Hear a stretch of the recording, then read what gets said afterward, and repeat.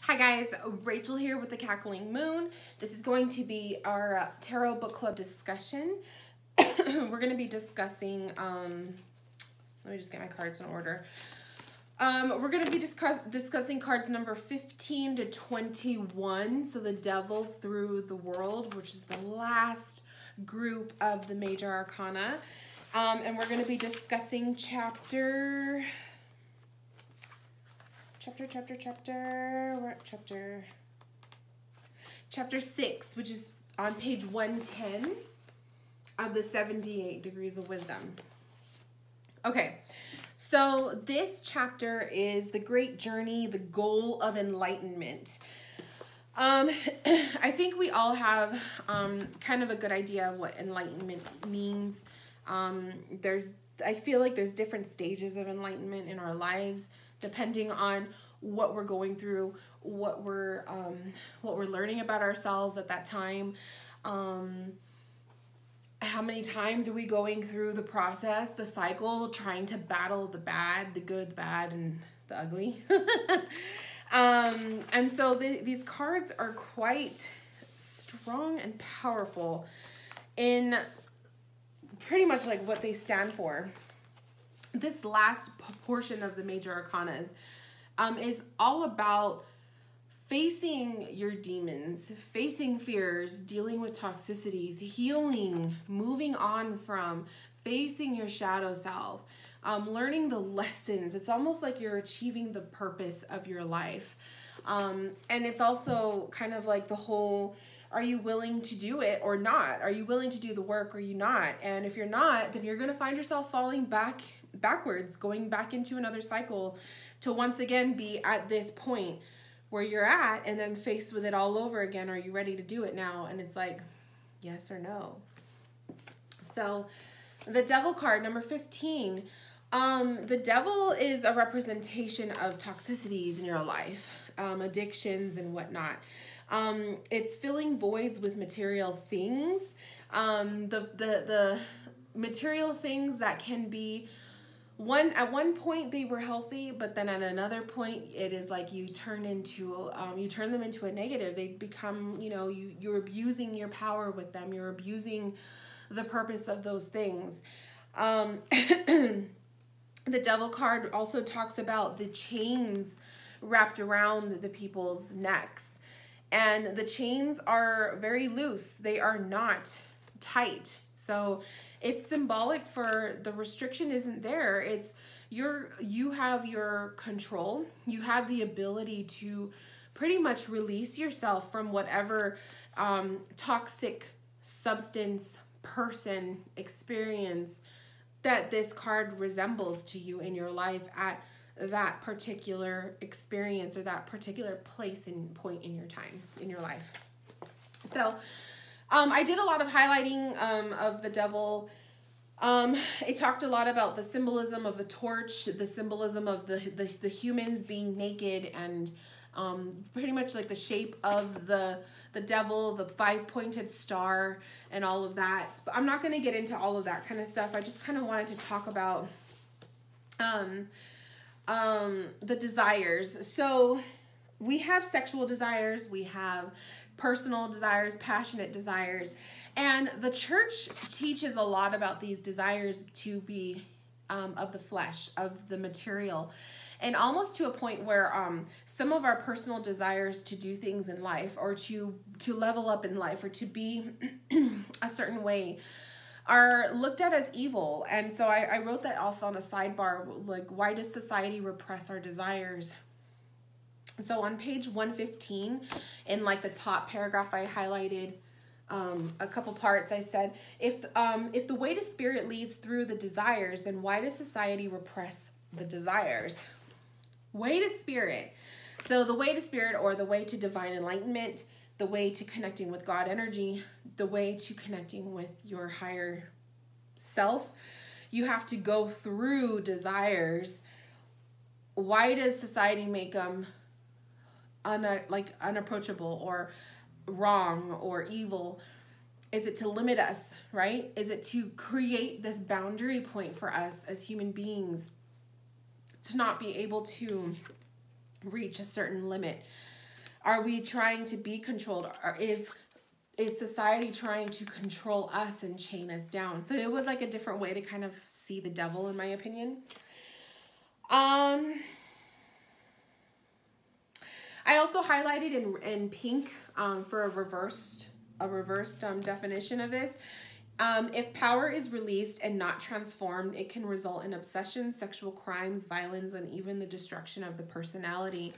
Um, so it's almost like when you're set, setting yourself free, but if you set yourself free, but it's not, it's still not controlled and you're not taking care of it, um, it can result in, and again, another whole level of bad habits and bad choices and whatnot. And that's a negative. That's like a reversed, um, a reversed way of seeing the devil.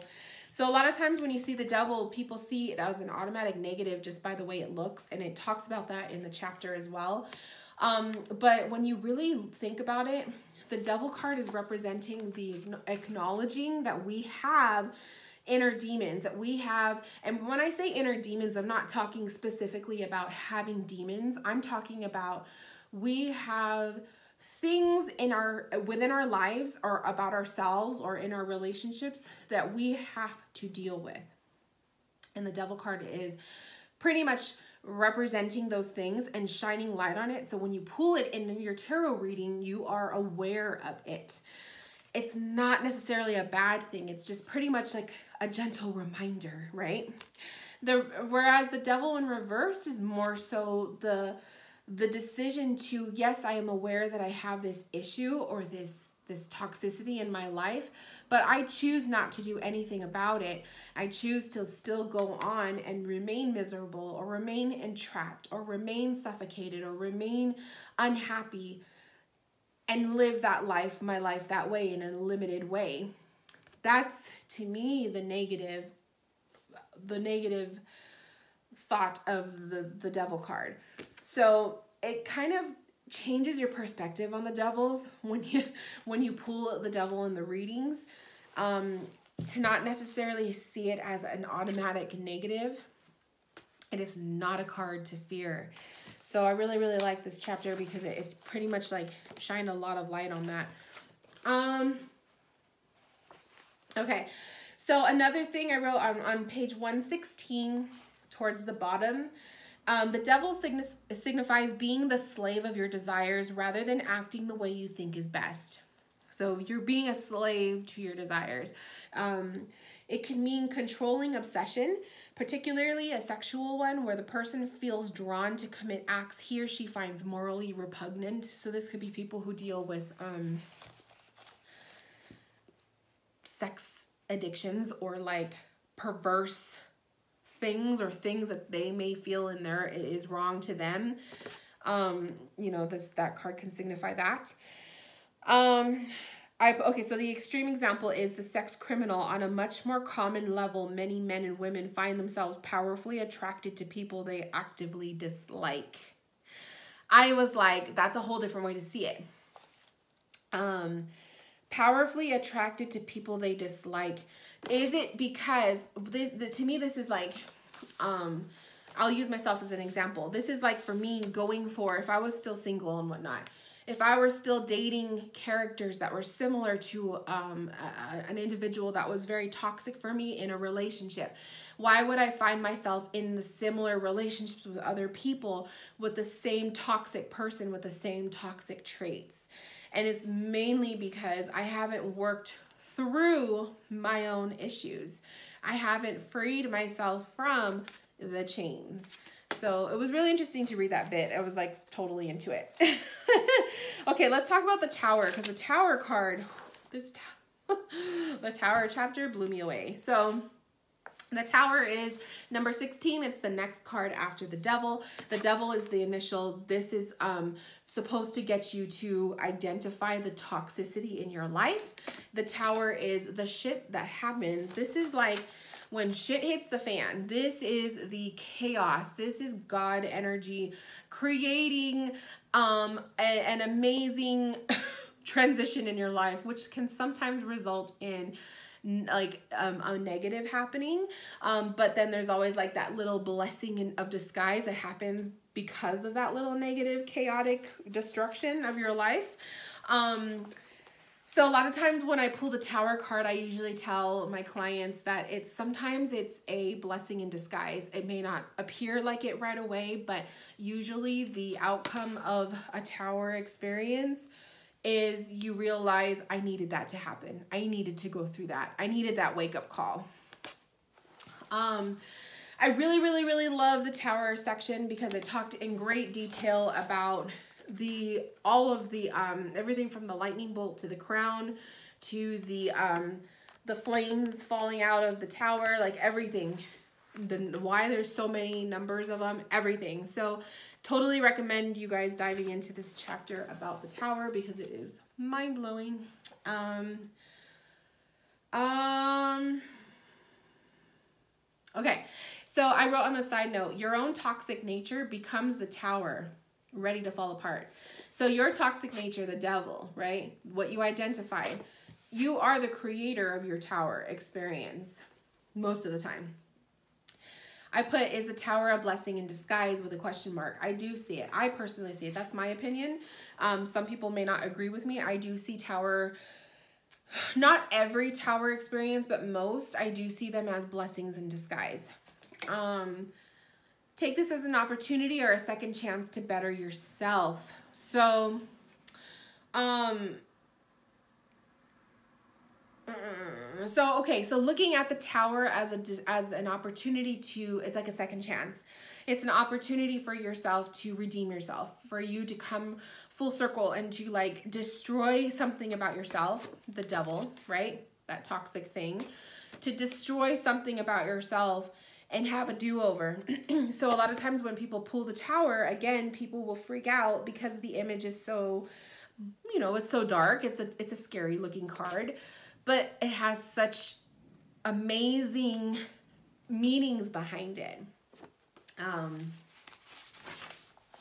what else?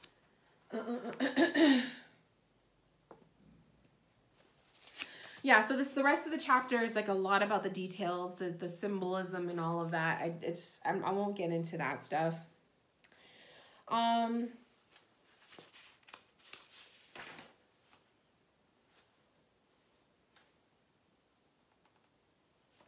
So a tower card in reverse are people who continue, like I said, like like similar to the devil.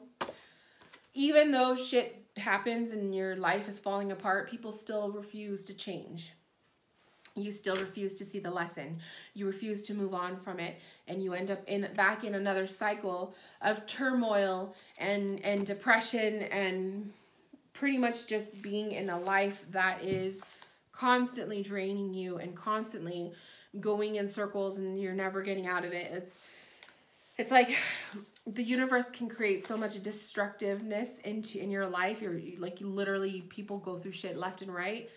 But if you're not learning your lessons and if you're not seeing silver linings in, in an otherwise very toxic or very negative situation, um, many people don't grow out of this and they remain in it because it's familiar or it's comfortable or they feel like it's safe. So lots of heavy energy with the tower.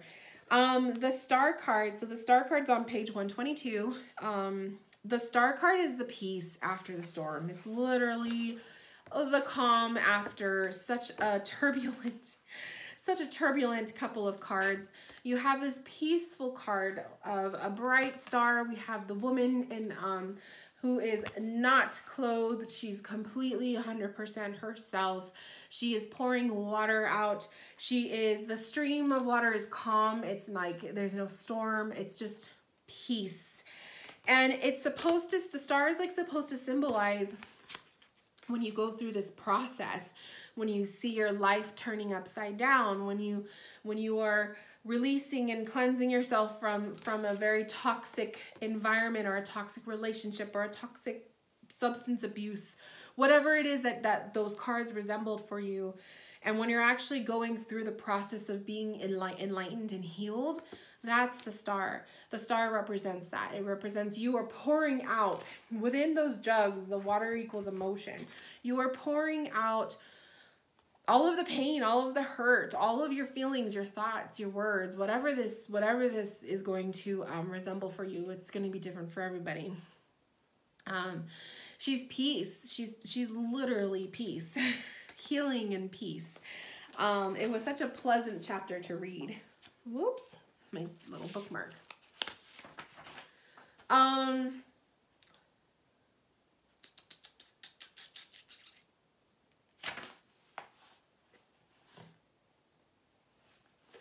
we talked about um, her connection with the high priestess, with the empress.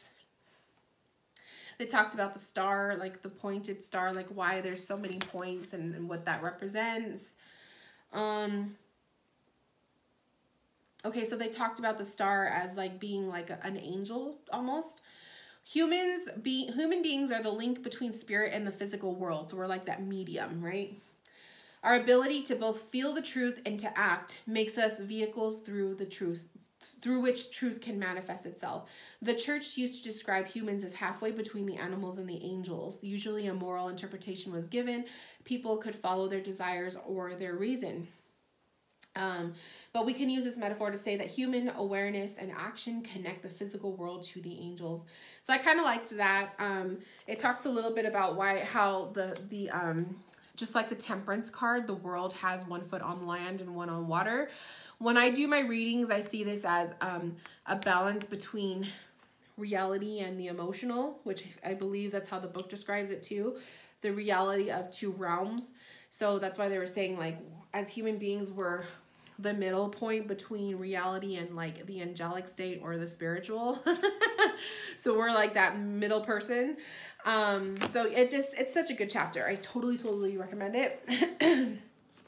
the star in reversed symbolizes channels closed when the waters of life are dammed uh, dammed up inside the outside can only become tired and depressed so basically it's like when we close ourselves off from the cards calm and hope experiencing weakness impotence and fear um, when people are you're when you're going through when you're going through this experience rather than being enlightened through it and um, pouring out what is within you people who choose to clog themselves up with their fears to clog themselves up with pride of not wanting to change because it's familiar to them or it's just or they're not ready to give up such an addiction or whatnot then you have yourself a star in, in reverse. Somebody who is re, is refusing treatment, somebody who is refusing healing, someone who is refusing to see um, the hope on the other side, the light at the end of the tunnel, that kind of thing.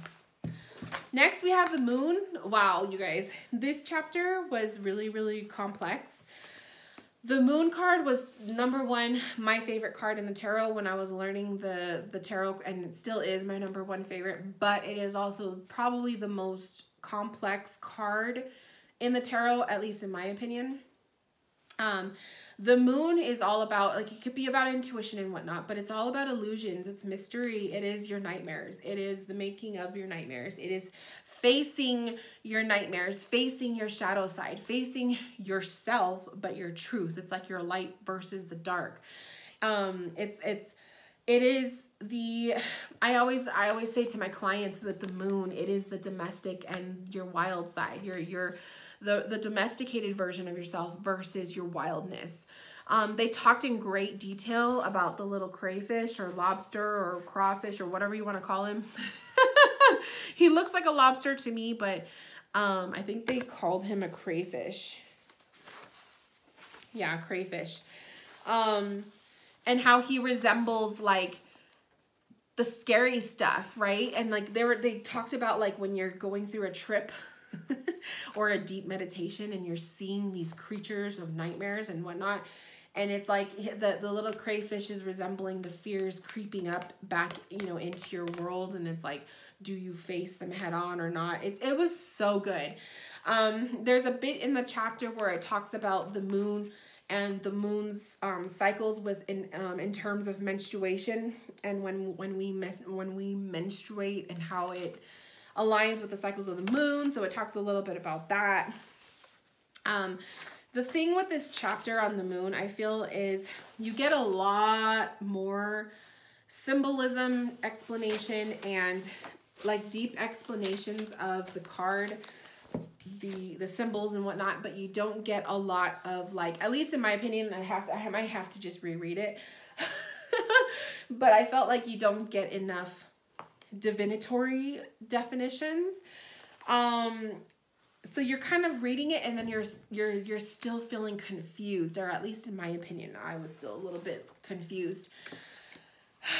Which is probably why the moon is so complex because it is it's illusions you know?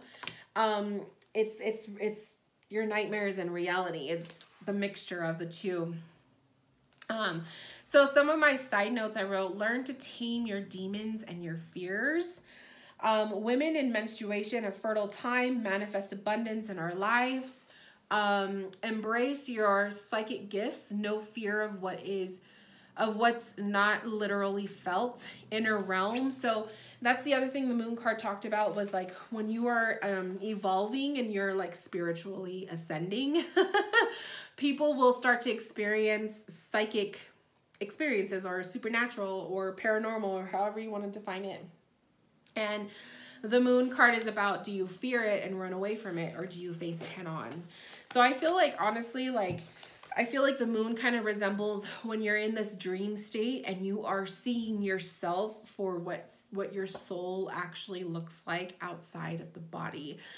And when you really think about it, it's like we have the body, we have our makeup, we have our skin, our eyes, the way we look, humans, right? But our souls, it's like if you really think about it, what does our soul look like? And is it scary, you know? And so I feel like the moon card kind of talks about that. The other thing I really liked was the moon card talked about being, so you have the towers. This scene is actually the back of the high priestess. So we have the high priestess here. And if you look in the background, you will see um, the water and whatnot, right? And it's basically what is hiding behind the veil, that veil behind her, is the scene of the moon.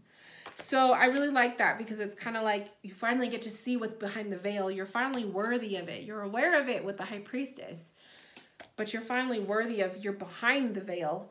Only so many people are willing to go behind the veil because so many people are willing to see that or they want to know what's behind there. Really complex. It's a it's a complex card. I feel like the moon can have its own book. I'm really curious what other people's um other people's perspectives on this card are. I would love to hear it, please. Um, another interesting thing about the moon card that came up in the book was the topic of um, like infertility, and I think it was the topic of miscarriage, uh, if I'm correct. Um, I know it talked about menstruation, but I want to say it talked about like the opposite. But I'm not going to spend my time looking for it because it I could be wrong. But I do know that when I'm doing my own readings, like client readings and stuff, oftentimes like I do see a, a moon in reversed as if this is like menstruation in a cycle, I see this as the opposite where it's like an irregular cycle or an inability to conceive and that kind of thing. But just I just came up. I don't know if that was in the chapter or not. okay. Um, next is the sun. So after the moon, the illusions, the nightmares, we have the joy. and the sun symbolizes your literally inner joy. It is euphoria. It is being in a state of, of, of high vibration. It is literally like, to me, it's like going to heaven. the sun is just nothing but joy. Um, it says youthful feelings, not literal child. So a lot of times you see the child and a lot of people will take it as a literal, like it's a child, but it's also the emotion of children. Children are pure. Ch children are not tainted. They are not, um, you know, they're not tainted by life and they're not tainted by like depression and they're not tainted by, or well, you know, children can have depression, but uh, what I'm saying is like, they're not tainted with everyday adult realities you know what I mean? They're still innocent. And so I feel like that's why they put the child on the card. It goes into detail about that too. Um, but it is, a, it's a state of euphoria, okay? Um, oh, I also put down, it is to have a new appreciation of life. Anyone who goes through this stuff, who goes through the darkness, who sees the light, right? Will have a whole new appreciation of life. If you go through your own awakening, you're facing your demons and whatnot, you will not see life the same way. And so that's what the sun card is, is, is trying to embrace, that it is a whole new perspective on life. Um, you have a whole new appreciation for it. Um, so I, I spent a lot of time with the reversal on it because I thought it was pretty powerful. So the reversal, I wrote down not seeing joy in life and having to work to see it.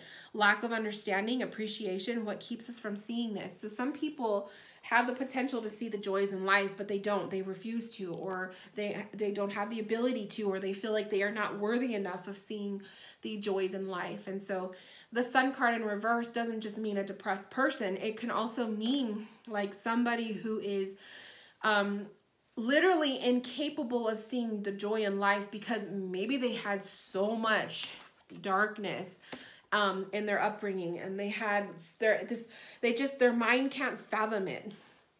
So it doesn't mean that it's just a depressed person. So i really like that. Um, i really liked that meaning of the reversal because it's it makes you think. It's just kind of like we all have a different background. We all go through different things. And so the sun to obtain this state of euphoria you do. You have to work for it and some people don't want to work for it or some people don't know how to work for it or they're afraid to work for it. So really interesting. I also feel like there's different levels of the sun. So there's the level of like giddiness and happiness because it's your first day of your job or it's you're happy because you're in a relationship that's fresh or there's the ultimate like the divine awakening because you just had a vision with god. Like you know what i mean? Like there's levels. There's levels to the sun Judgment. So judgment, um, page 134. So I wrote some notes for judgment. I said being able to move forward with something of the past, to change, forgive, and grow. So when the judgment card comes up, it is usually a call or a wake up call. You are being, your, your attention is, is wanted. Someone is trying to get your attention, whether it's spirit or it's life or it's somebody, literal person in your life. Um, but to me, it is you you are seeing the change that needs to happen in your life and you're willing to go for it. To me, the judgment is also it's a new calling. It's like your ability to see the shit that you just went through and you see the silver lining. So you were able to you're able to go look back at your past and say, okay, I went through this in my lifetime, but even though that was unfair that I went through that, I understand why I went through that. Because if I hadn't gone through that, I wouldn't have learned this about myself. That to me is the ultimate, the world, but it's also how some people level up and really see a joy and appreciation for life and the judgment. You you hear the higher calling. You get the message. Um I also wrote down taking who you were in the past and becoming a stronger version in the future. So just because you were broken in the past doesn't mean you're broken forever, you know? If you're you were broken in the past, you're repaired now, you went through your process, you're healed, you're you know, you're good. You have a better appreciation and a new outlook for yourself. Um in a different sense, right? Um,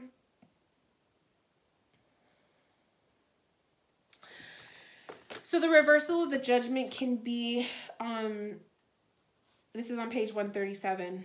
Um, the person wishes to answer the call but does not know what to do.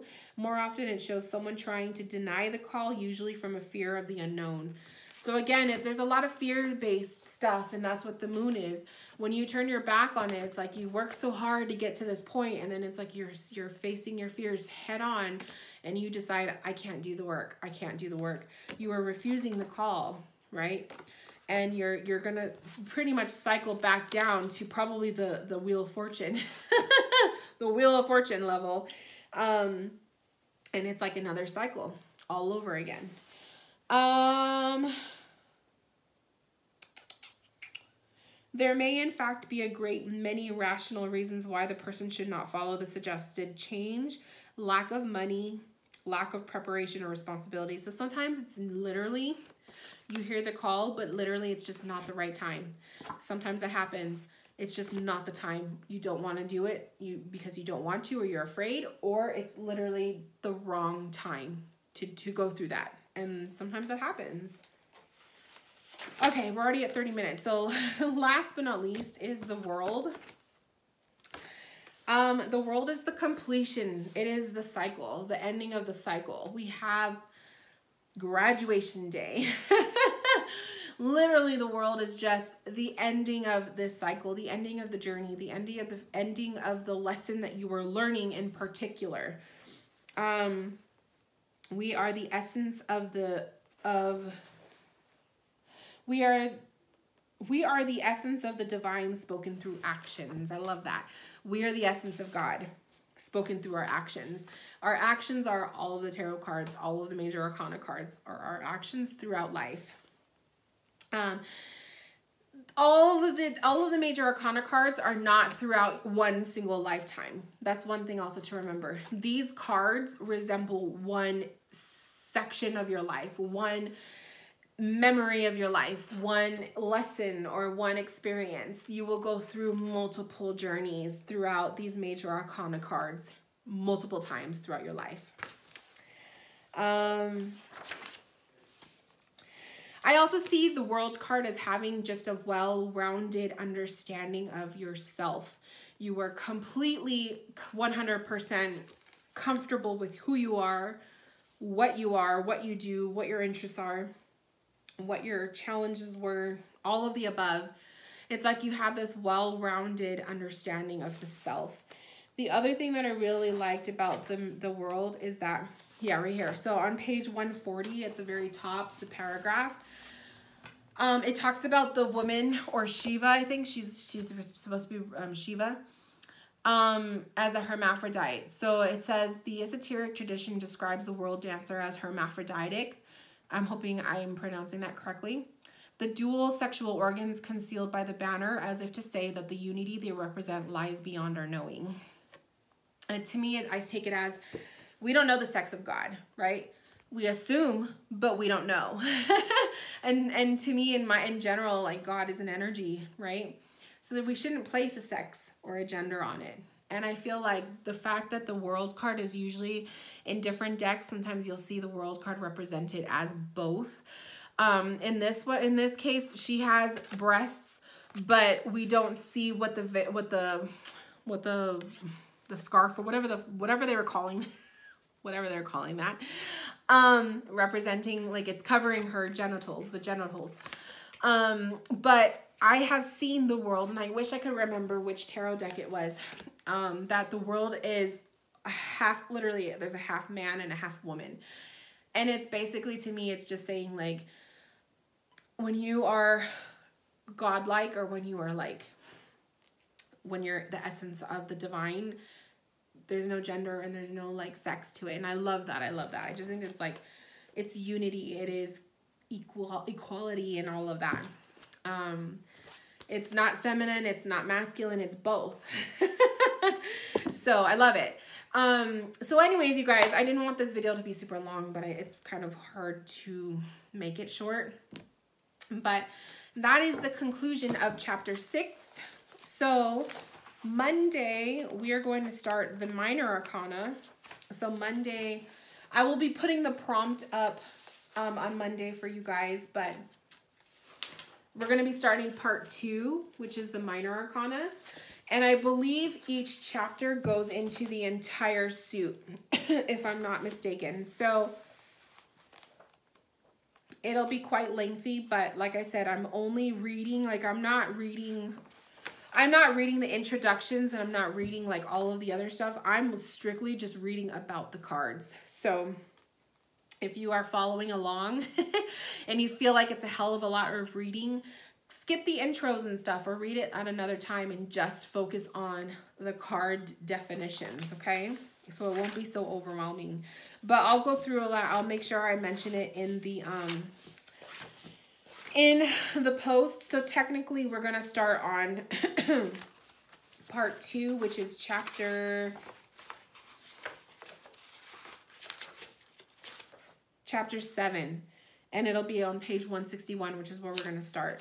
Okay, so this is like even though part the like the second part starts here, this is all intro. I'm not reading that. So I'm just I just strictly want to start on the actual cards and we start with the courts. So love it. So we'll um I'll be putting the prompt up for that and then we'll be diving into the minor arcana. I'm really looking forward to it because I think the minor arcanas are a little bit more they're quick little blurbs rather than lengthy drawn out definitions. So the majors were really cool. You got in depth with the symbolism, but the minors are not as crazy. So it, it'll be easier to easier to handle for those of us who are busy.